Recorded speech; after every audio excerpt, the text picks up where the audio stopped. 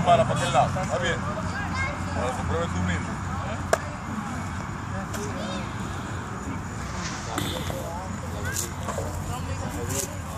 Vámonos, Felipe.